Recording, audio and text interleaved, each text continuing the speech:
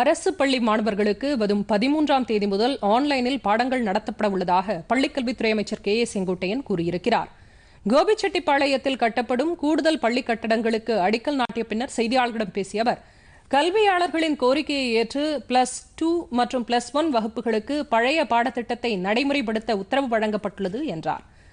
தனியார் தொலைக்காட்சிகளின் வழியே பாடங்கள் நடத்துவதற்கும் நடவடிக்கை மேற்கொள்ளப்பட்டு வருகிறது என்று அவர் குறிப்பிட்டார்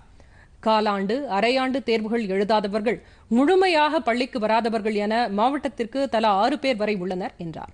அவர்களுக்கு மதிப்பெண் வழங்குவதா அல்லது தேர்வு நடத்துவதா என்பது குறித்து முதலமைச்சர் முடிவெடுப்பார் என்றும் அவர் கூறினார்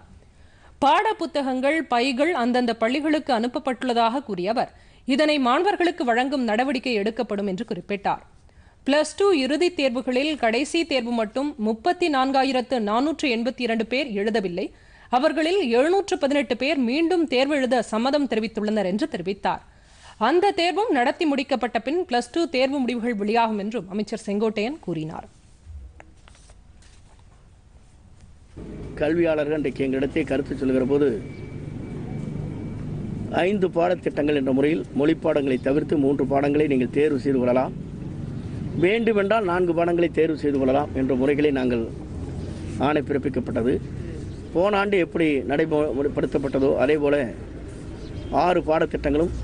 எல்லோரும் மாணவர்கள் படிப்பதற்காக ஏற்பாடுகள் செய்யப்பட்டு ஆணை பிறப்பிக்கப்பட்டிருக்கிறது மொத்தமாக முப்பத்தி நான்காயிரத்தி நானூற்றி எண்பத்தி ரெண்டு பேர்கள் இருபத்தி நான்காம் தேதி என்று கடைசி தேர்வு எழுதுவதற்கு வர இயலவில்லை எட்டு லட்சத்திற்கு மேற்பட்டவில்லை வர இயலவில்லை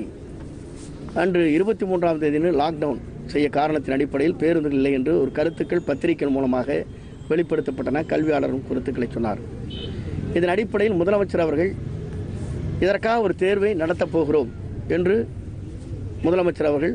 அதற்கான பதிலை அளித்தார் தேர்வு நடத்துவதற்கு முதலமைச்சர் உத்தரவு வழங்கியிருக்கிறார்கள் இன்று மாலைக்குள் எப்போது அந்த நிலைகள் உருவாக்குவது என்பது அரசு அறிவிக்கும் எத்தனை பேர் இதில் எழுத விருப்பம் இருக்கிறார் என்று கேட்டிருக்கிறோம் எழுநூற்றி பதினெட்டு பேர் தான் எழுதுவதற்கு விருப்பம் தெரிவித்திருக்கிறார்கள் அதற்கான ஆயத்த பணிகள் வேண்டுமென்றால் யார் வேண்டுமானால் எழுதலாம் அதற்கான ஆயத்த பணிகளை அரசு செய்து கொண்டிருக்கிறது என்று மா